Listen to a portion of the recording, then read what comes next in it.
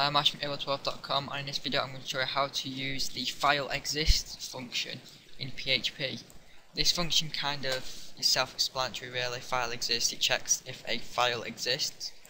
You can use this for any file really, but I'm just going to show you an example with a txt file. So if I come into Dreamweaver here and down here if you look at my folder structure, um, as you can see I've got an index.php which is currently just blank, nothing there um, and a folder called files with a file in there called myfile.txt. Um, so what I want to do is to make a script to check if um, that file exists and then I'm going to show you how to actually implement this into a form so the user can type in a requested file to see if it exists.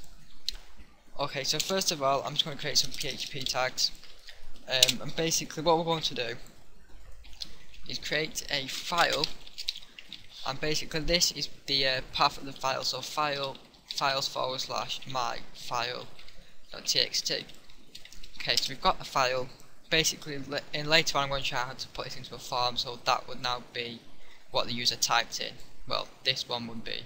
And then we're going to implement these on either side Okay, so now we've got that. Basically, if if file underscore exists, my screen's just gone blank. Sorry about that. Uh, and inside here we have the um, file. Oops. Yeah, file there. Okay, so if the file exists, we can echo out to say um, this file already exists. Else we can echo out um, this file is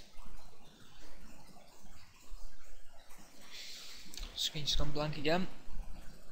Don't know what's up with this computer today. Um, this file is not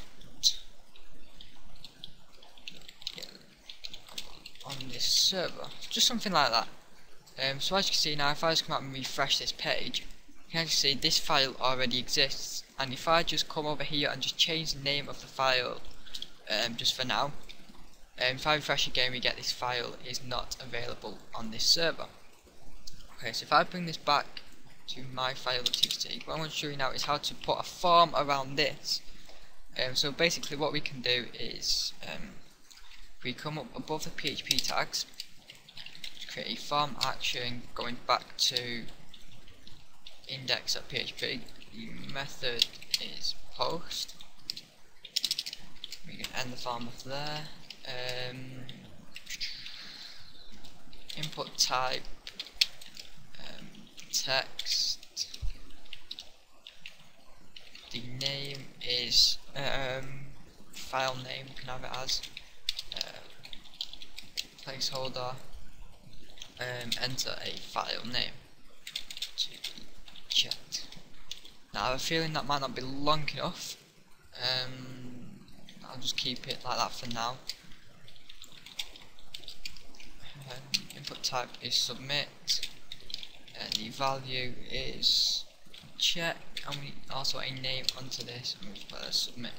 Okay, so if I come out and refresh um, also, if one sec, if I just put an if around here, just to stop it from running the script on load, page load. So if is set dollar underscore post submit. Okay, so when I come back and refresh the page, as you can see, it's not long enough. So um, size uh, 30 might be long enough yeah, just. Um, enter file name to be checked. Okay, and then they type in the um, a file name here, and then click check.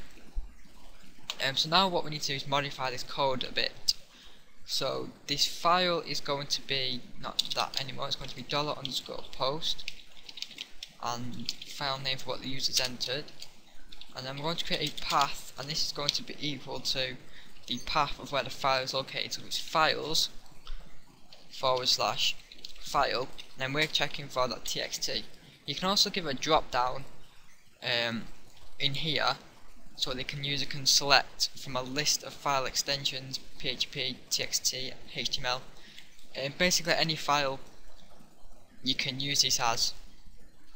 Um, so you can do that as well but I'm just going to put .txt on there specify it here just to show you as an example. Okay so then we can put if so we need to change this to path now.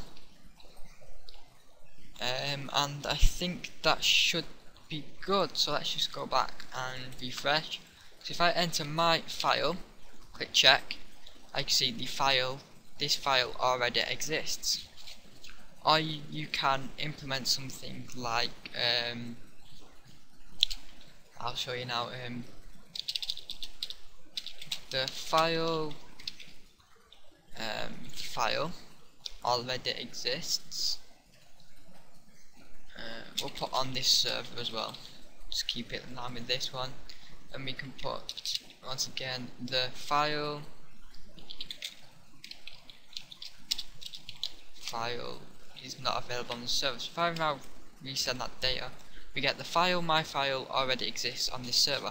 So basically what is in the inverted commas is um, what the user typed in. So if I now check another file so I just put in file as you can see we get the file file is not available. Um, actually it is available.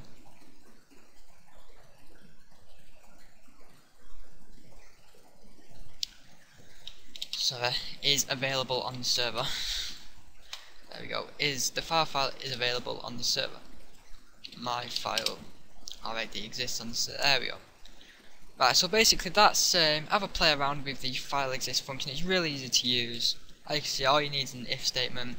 So if it does exist you put your code for if it exists. Else um, you can put something like there like another form or something saying um, do you wish to create this file such and such. Just stuff like that basic stuff. Basically this is just telling you how to determine if it does exist on the server um, so thanks for watching and I'll see you next time